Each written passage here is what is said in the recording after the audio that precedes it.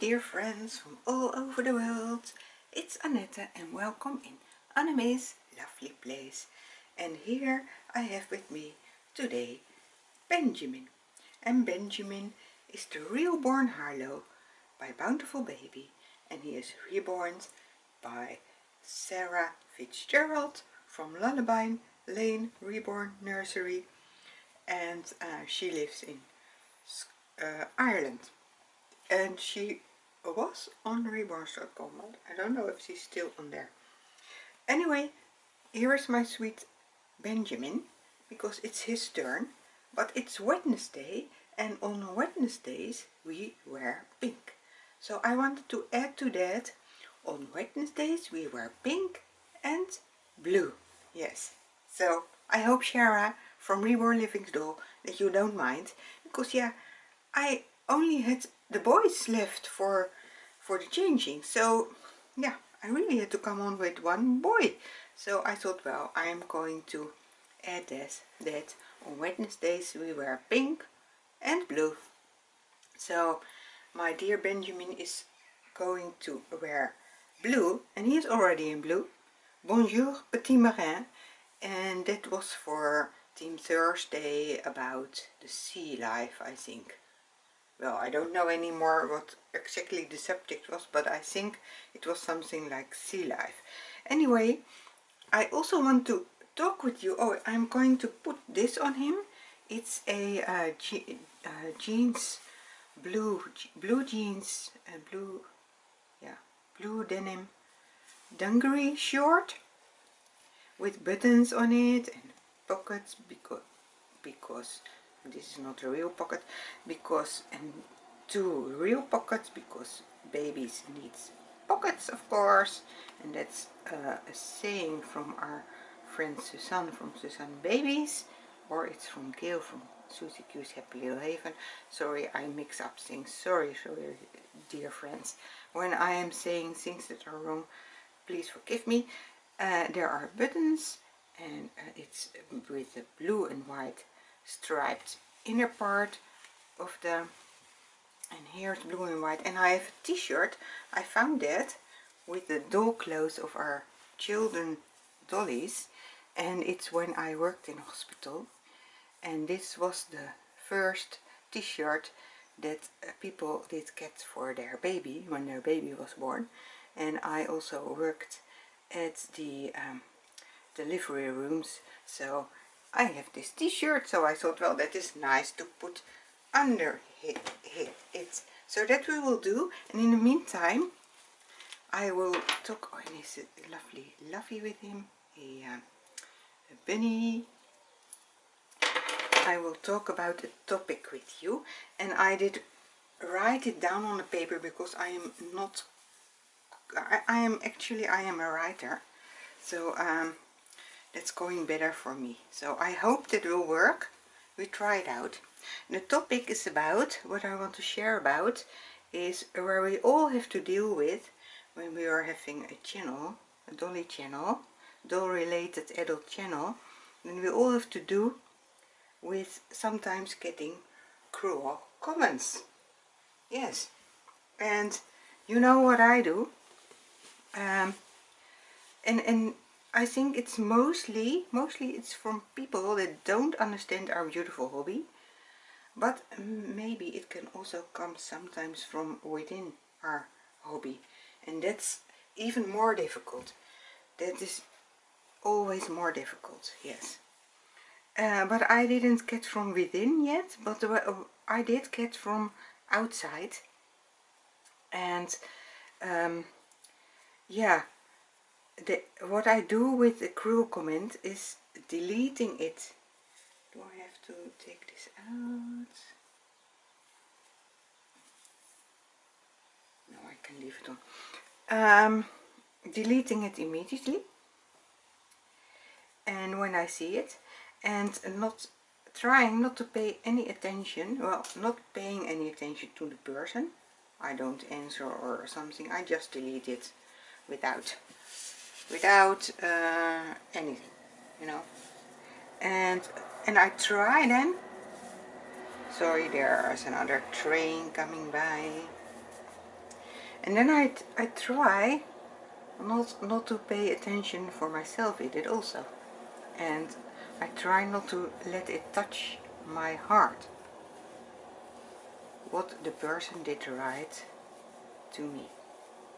But but yeah that is more difficult of course. Um, uh, it's it, um, what what I did get a few times now uh, not not much times but I have a small channel and that's also a reason I like to keep my channel small. Um, so please when you don't want to subscribe don't do it. I, I never will ask will you subscribe? Because yeah you know when you're growing um, there's more attention for your channel and you have more chance to get those nasty comments. Well anyway that's another subject. Uh, but it's sometimes um, something like this. You need to find help because this is not normal. Try find help. And it's in capital capital letters. And or you can better give the money to poor children who don't have those clothes. Yeah, I know that. I know. I know that uh, the world is not equally uh, divided. I know that we are very rich and that there are people who uh, have to to look if they uh, get food for coming through today. I, I know that and it and it it upsets me and it makes me makes me angry and it makes me sad, you know, but I've also learned that I can, yeah, well, I can do something about it and we do that, but yeah, yeah, maybe not enough, I don't know. But anyway, that touches my heart, you know, when people write so, does the, those kind of things. But I immediately, I, I delete them immediately. I'm uh, going out of the subject, out of what I have written down, but it doesn't matter because it's all in the same subject. Um, yeah, but yeah, you know, uh, it, it does hit me, of course. That's how we are in this hobby. We are very sensible, sensible persons. I, and I think that's something in this hobby we all have. Well, maybe there are some exceptions. Uh, but most people are very sensible. And I've learned in life that you can put aside the lies, the half-lies, the cruel things, the nasty and awful things, and that you don't have to do anything with it, but only this. Try to forget it as soon as possible. Yeah. And, and, and this is something I also say to myself, you know, because um, it's hard for me too. Yes. And that's why I wanted to talk about it and share it with you because I saw a video of, of a lovely lady who had to go through a lot of things and she uh, also did get hatred. And yeah I I, I feel uh, I, I feel feel uh, yeah so I, I felt the need to to talk about it because last weekend I did get uh, one of such a nasty comment. And uh, from somebody from outside the hobby I think so. Yeah. Uh, anyway uh, where was I? Okay. Uh, so try to forget it as soon as possible and I say it to myself. And put on the armor of God. We can keep those cruel arrows that are coming through us from us and not touching our heart by wearing the shield of faith and that shield of faith learned us learns us that we are worthy. So when we when we have the faith in the Lord, we know we know the Lord, and He tells us you are worthy. So uh, then we learn we have did learn that we are worthy, we are loved, we are special, because the Lord loves us, and the Lord is the one who created everything, and who holds everything in his hands, and who also takes care of the of the poor people. Um, and he says that you are loved and special. It's his endless love for us. You are a dearly loved child of God.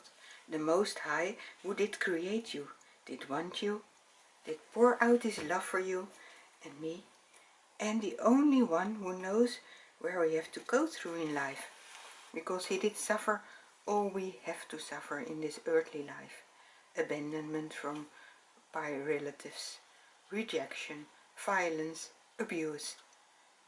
He did go through it all. That's what did help me to go through many trials in life too. And still I have to learn that I should keep some things out of my heart and not to get poisoned by the words of a stranger. Isn't it strange that I am guided by words of someone I don't know at all? Better to let me guided by the one that I know, the Lord Jesus from the Bible, my personal guide through life. And he says, he says, I love you with my enduring love. And that brings me to this book. And Benjamin is ready, you see, he is ready. Oh, it's cute on him. I didn't put it before on him, but it's very cute on him. Oh, he's such, and he was my first, my first reborn baby that I did buy, and he is so cute. Yes, he's cute. And he has a, a Passy from Winnie the Pooh. I made it myself, and I always put some some uh, fabric to uh, to protect paint. So here he is, my sweet boy. Oh, I love him. I love it. It's nice, the white shirt under it. Yes, it's cute. so, yeah, so I will read for you Enduring Love from the book Daily Inspiration for Women. God's love endured forever. What a wonderful thing to know when the tides of life run against you and your spirit is downcast and low. Psalm 170, 17, verse 2 says, For great is his steadfast love toward us, and the faithfulness of the Lord endures forever. Praise the Lord. How has the love of God surprised you in the past? Well, the love of God surprised me in many ways and I think this hobby is one of the things that surprised me. That he doesn't he doesn't uh, say you cannot do that it's not good. Um, he, he says enjoy life. Be as a child and and and honor me in everything. And even in this hobby we can honor the Lord. And and because the Lord will always be the first one the one who gave us life, the one who loves us and the one who smiles at us when he sees that we enjoy life and that we enjoy the little things. Yes.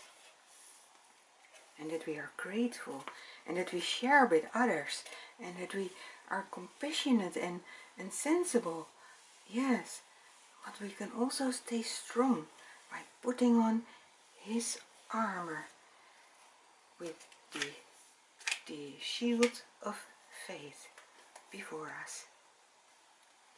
And there's a prayer in this.